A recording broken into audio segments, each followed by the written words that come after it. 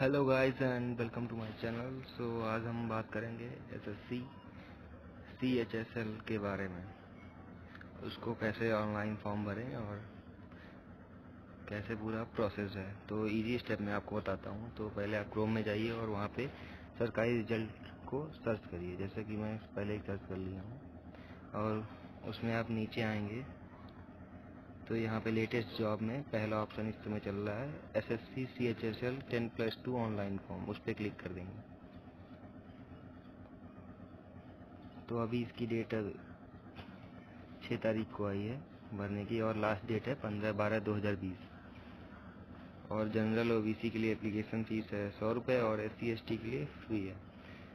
Eligibility देख लेते हैं मस्ट है pass ten plus two intermediate exam in any recognise board in India ten plus two ही होना चाहिए और एज लिमिट है अठारह से सत्ताईस साल के बीच में। तो फॉर्म कैसे फिल करना है वो आप देखते हैं। अब नीचे आएँगे तो यहाँ पे अप्लाई ऑनलाइन लिखा है, वहाँ पे क्लिक हेयर कर देंगे।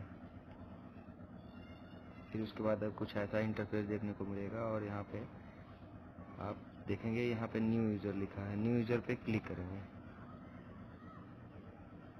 अब ये तीन स्टेप में फॉर्म आपको फिल करना पड़ेगा। पहला है बेसिक डिटेल दूसरा है एडिशनल एंड कॉन्टेक्ट डिटेल और तीसरा है फ़ोटो एंड सिग्नेचर डिटेल तो इसमें पहला ऑप्शन मांग रहा है डू यू हैव आधार? तो आपके पास अगर आधार है तो उसको यस कर देंगे। और यहाँ पे आपको आधार नंबर डालना होगा और दूसरे में वाईफाई आधार नंबर तीसरा है टाइप ऑफ़ आईडी तो आप आधार कार्ड डाल ही चुके हैं तो उसको छोड़ देना है। आईडी नंबर भी छोड़ देना है और चौथे में आपको नाम डालना है टू ए में आपको नाम डालना है। इसमें ये देखना है कि जिसमें स्टार है, वो आपको फिल करना ज़रूरी है तो आप उसको फिल कर लीजिए।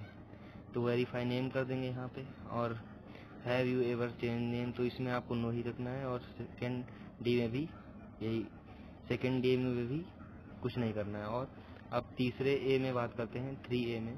तो यहाँ पे आपको फादर नेम डालना है। तो उसको फिल कर देंगे, फिर वेरीफाई फादर्स नेम भी कर देंगे।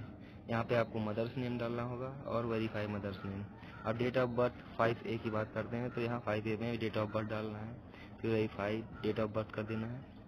फिर सिक्स में बात करते हैं matriculation tenth class examination detail detail आपको भरना है।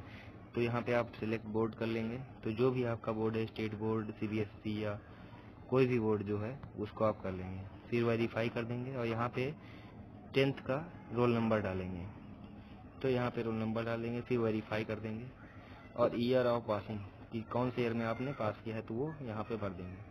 उसको भी वेरीफाई कर लेंगे, और सेवन में है जेंडर वो भी तो आप जानते होंगे, उसको भी भर लेंगे। और एट में है लेवल ऑफ़ एजुकेशन क्वालिफिकेशन तो आप कितने लेवल तक पढ़े हैं? तो इसमें पोस्ट मैट्रिक और matriculation higher secondary diploma graduation जो भी है आप वो कर लेंगे। फिर उसके बाद मोबाइल नंबर फिर उसको वेरीफाई करना है। दोबारा भी वही डालना है और ईमेल आईडी डालनी है, फिर इसको वेरीफाई करने के लिए फिर से वही। और परमानेंट एड्रेस आपका जो भी है, वो आपको डाल देना है उत्तर प्रदेश। मैं उत्तर प्रदेश हूँ तो उत्तर प्रदेश भरूँगा और जहाँ का भी है आप वहाँ का डाल दीजिए।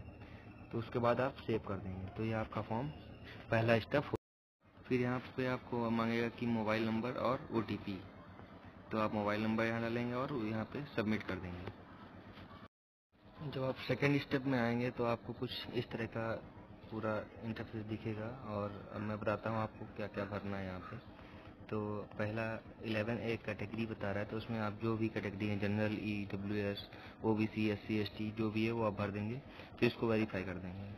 और फिर नेशनलिटी कि आप सिटीजन ऑफ़ इंडिया हैं या नेपाल के हैं या भूटान के हैं सब्जेक्ट ऑफ़ भूटान तो उसमें आप वो भर देंगे। फिर आइडेंटिफिकेशन मार्क आइडेंटिफिकेशन मार्क में आइडेंटिफिकेशन मार्क रख देंगे। और are you a person with benchmark disability मतलब कि आपके कुछ मतलब कि आपको कुछ दिक्कत है या फिर जैसे आपको कम दिखता है या कम सुनाई देता है, वैसे भी कुछ टाइप ऑफ़ डिसेबिलिटी तो आपको नहीं है तो नो कर देना है।